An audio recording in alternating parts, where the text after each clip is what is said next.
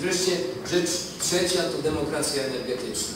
Ktoś pomyślałby, co ma energia do demokracji. No, okazuje się, że właśnie szanse rozwojowe to jest między innymi także to, że społeczeństwo ma egalitarny, e, e, powszechny dostęp do, do energii, do, do usług opartych na e, tej energii.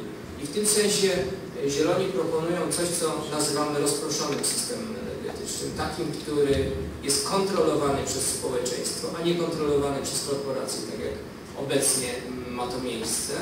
Zresztą nie tylko w Polsce, ale w całej Unii Europejskiej te duże energetyczne koncerny e, rozgrywają swoje interesy, korumpując na przykład e, rządy, czy, czy lobbując w Unii Europejskiej, podczas gdy my wskazujemy, że rozproszenie energetyki, czyli na przykład mikrogeneracja na poziomie domu, na poziomie e, miejscowości, w której mieszkamy, oparta także na, w dużym stopniu na odnawialnych źródłach energii, co ważne, na takim miksie energetycznym różnych źródeł odnawialnych, jest w XXI wieku rozwiązaniem wielu problemów. Na przykład problemów bezpieczeństwa, o którym mówił wcześniej Michał.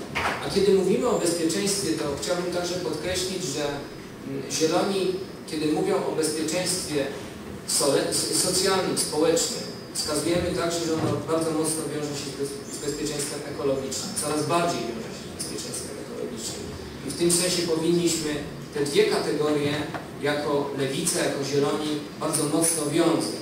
Żeby nie było tak, jak się stało w Polsce, że ochrona środowiska na początku lat 90. została sprowadzona do takiego bardzo technokratycznego, technologicznego poziomu czy pewnego dyskursu i została oddzielona od y, tej neoliberalnej ścieżki gospodarczej, a społeczeństwo potraktowało y, ochronę środowiska jako taki y, dodatek do neoliberalnych reform.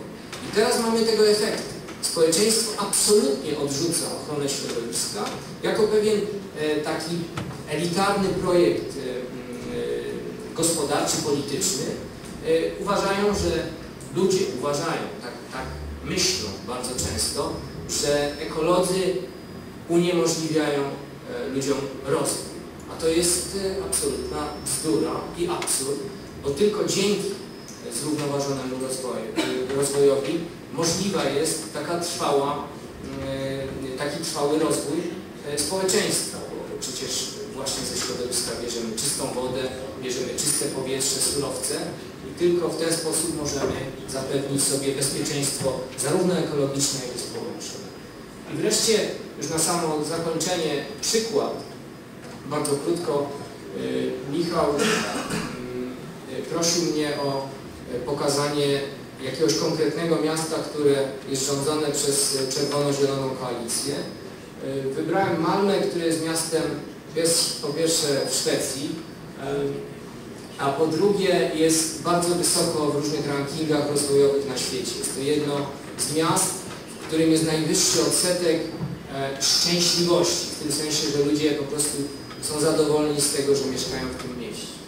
I tutaj jest wiele projektów, które są realizowane w Malmę pod tą czerwono-zieloną koalicją, które mają wymiar społeczny i ekologiczny, a jednocześnie przynoszą E, gospodarcze korzyści. Zatem te wszystkie trzy polityki są integrowane i przynoszą e, wysoką jakość życia, poprawę warunków życia nie tylko e, mieszkańcom, ale też otoczeniu. Jednym z takich projektów jest taka dzielnica, nowa dzielnica, zupełnie zbudowana od, od podstaw, którą można określić jako dzielnicę zrównoważoną w tym sensie, że jakby podstawą jej, jej budowania od samego początku były założenia o zrównoważonym rozwoju i tam są one realizowane od samego początku. Między innymi jest tutaj wprowadzone planowanie partycypacyjne, czyli włączanie ludzi do procesu podejmowania decyzji o tym, jak ich miasto e, ma wyglądać, bardzo intensywne, ale też na przykład to, że ta część e, miasta jest w 100% niezależna energetycznie, jest w całości zasilana przez słońce, przez wiatr, i przez inne źródła e, odnawialne. Także to społeczeństwo recyklingu w tym wypadku dotyczy wody, bo tutaj zamyka się obiegi wodne i w ten sposób nie powstaje e, dużo mm, e, ścieków, tylko one są zawracane do systemu, oczyszczane i w ten sposób miasto staje się mniej szkodliwe na zewnątrz, a jednocześnie jest miastem o wyższej jakości życia dzięki właśnie lepszej jakości na przykład takiego zasobu jak woda. I wreszcie, co z punktu widzenia lewicy jest niezwykle ważne, to kwestia budownictwa. Mianowicie często mówimy tak, że mm, ekologiczne budownictwo, budownictwo o wysokich standardach e, właśnie ekologicznych jest dużym zagrożeniem społecznym, że może spowodować wysokie ceny, może spowodować niedostępność e, takiego budownictwa. Nie jest to prawda. Między innymi tam realizowane są budynki autonomiczne, czyli niezależne w sensie energetycznym, ale też w sensie innych obiegów, na przykład e, wody, które są dostępne. I to realizuje Miejskie Przedsiębiorstwo Budowlane, co ważne. Więc nie jest to domena li tylko prywatnych e, deweloperów, ale w tym wypadku wręcz przeciwnie. To miasto bierze na siebie odpowiedzialność za realizację polityki budownictwa. Zobaczcie Państwo, jak to jest w Polsce. W zasadzie pierwsze lata w Polsce to był totalny rynek. Mało w ostatnich latach to był jeszcze rynek spekulacyjny. Przecież u nas też mieliśmy swoje bańki y, inwestycyjne, jeśli chodzi o budownictwo, nakręcanie cen itd. Tak Drugą taką też ciekawą koncepcją jest rewitalizacja akurat. Y, Augustenborg to jest też pewna dzielnica, ale dzielnica bardzo biedna, dzielnica także, w której e, mieszka bardzo zróżnicowana e, etnicznie społeczność i tutaj e, wprowadza się różne społeczne projekty, ale także ekologiczne, które mają po pierwsze podnieść jakość życia poprzez poprawienie warunków takich środowiskowych życia, ale jednocześnie z podniesieniem także standardów społecznych. Także tutaj się uwzględnia zarówno kwestie społeczne, jak i ekologiczne naraz, a nie tak jak robi na przykład PiS, próbuje się te dwie rzeczy ze sobą skłócać. Tak? Bo zauważcie Państwo, to jest też ciekawe. Czym się różni PiS i Platforma z perspektywy zielonej?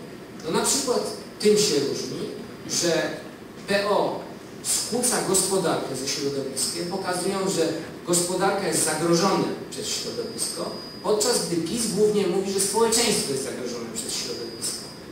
Gdy my, podczas gdy my pokazujemy, że jest to absurd, ani gospodarka, ani społeczeństwo przez środowisko zagrożone nie jest. A mówienie, że bobry, ekologów olejnych, ale że bobry były winne powodzi, to był jeden z tych absurdów, do, do jakich prowadzi myślenie tego typu. I spójrzcie Państwo aspekt społeczny, obniżenie czynszów o 20%. To jest niezwykle ważne dla e, społeczności mieszkającej w takim, e, w takim e, obszarze, żeby podnosząc standardy ekologiczne, nie podnosić ceny e, mieszkania w takim obszarze, bo u nas ekologia kojarzy się właśnie z jakąś elitarnością, podczas gdy e, te, ten szwedzki przykład pokazuje zupełnie e, co innego, że można te dwie rzeczy integrować.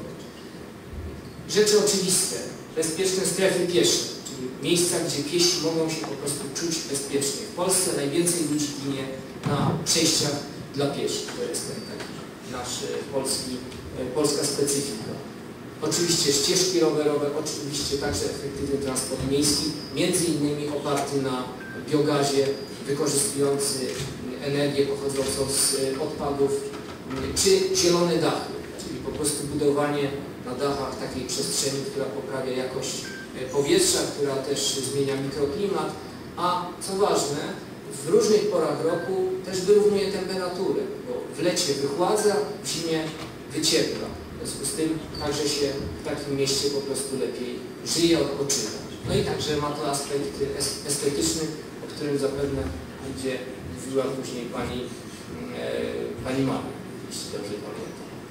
E, I w tym projekcie uwzględnia się też e, już kończąc, przepraszam, strasznie e, chyba przedłużyłem. E, może nie samowystarczalność żywnościową, bo to rzeczywiście przy bardzo skoncentrowanych miastach, dużych miastach może nie jest to zbyt łatwe, ale ograniczanie transportu żywności, e, zwiększanie niezależności w tym sensie, że miasto, konsument współpracuje z otoczeniem producentem, czyli w dużym stopniu mamy lokalną, sezonową, ekologiczną żywność. I to można także realizować w polskich miastach. Przecież my mamy potężne zasoby na produkcję takiej e, lokalnej, e, sezonowej żywności i miasta mogłyby taką współpracę budować z e, otaczającymi je miejscowościami. I już ostatnia rzecz, taka alter globalna. Miasto Malmę ma też swój wkład w pewien, w pewien w tak, taką debatę na temat budowania innej globalizacji poprzez aktywny udział e, w działaniach na rzecz sprawiedliwego handlu. Oznacza to, że na przykład we wszystkich em, budynkach, które są obsługiwane przez miasto, e, produkty sprawiedliwego handlu są sprzedawane, są dystrybuowane i w ten sposób wzmacnia się e, lokalne społeczności nie tylko wokół Malmy, ale także za siedmioma górami, za siedmioma lasami. Dziękuję uprzejmie i przepraszam bardzo, że jak zwykle pewnie za, za. Dziękuję bardzo.